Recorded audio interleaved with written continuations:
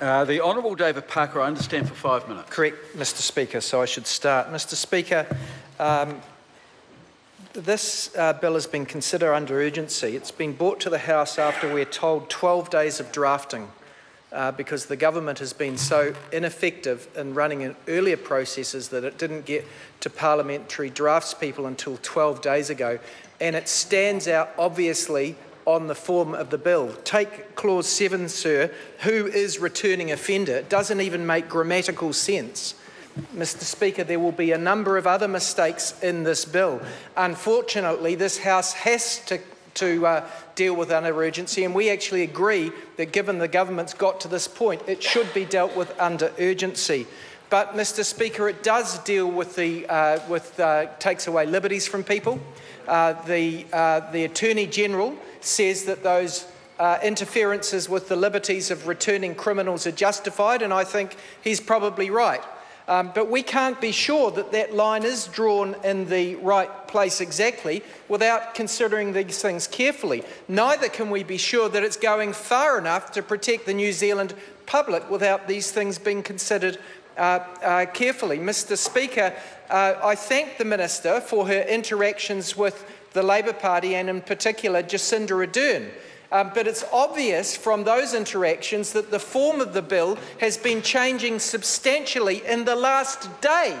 And yet we're expected to believe that the form of this legislation will be perfect. Mr Speaker, uh, I made a suggestion through um, Jacinda and Andrew Little uh, that we guard against mistakes here by passing two forms of this bill today. One would have a sunset clause which would say that it expired after a year. We said, say a year. If the government came back and said, say two years, we probably could have lived with that. But it should have had a sunset clause, and at the same time, under the same debate, with no more parliamentary time, we offered to cooperate with this at the Business Committee. We said, pass a second version of the bill, identical, except that it would not have a sunset clause and it would not commence until the date of the sunset clause in the first bill and send that to select committee. And then the select committee could have, starting tomorrow, heard from the Law Society, heard from the victim impact groups, heard from civil society as to where the flaws are in this bill, because there will be flaws in this bill. Now, I say, Amy Adams, why did you not respond positively to that request?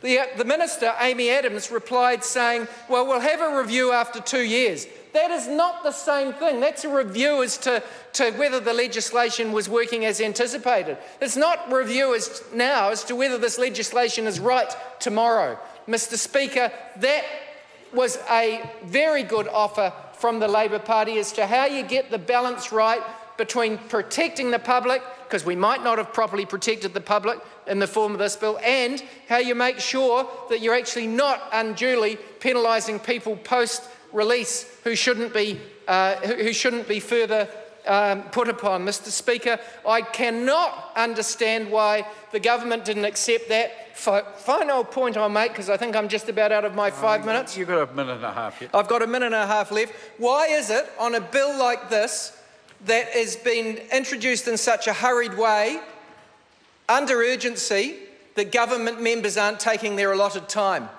Why is it that they're not actually taking the trouble to actually read this legislation? They only need to get to, to clause 7 of the bill to find the first obvious grammatical mistake, which is on page 4 of the bill. It's not a long way to read through it to get that mistake.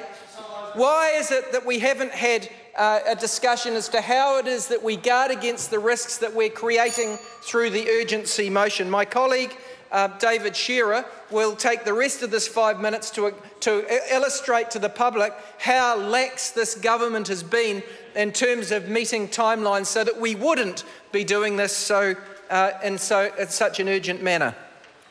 Mr Speaker. The Honourable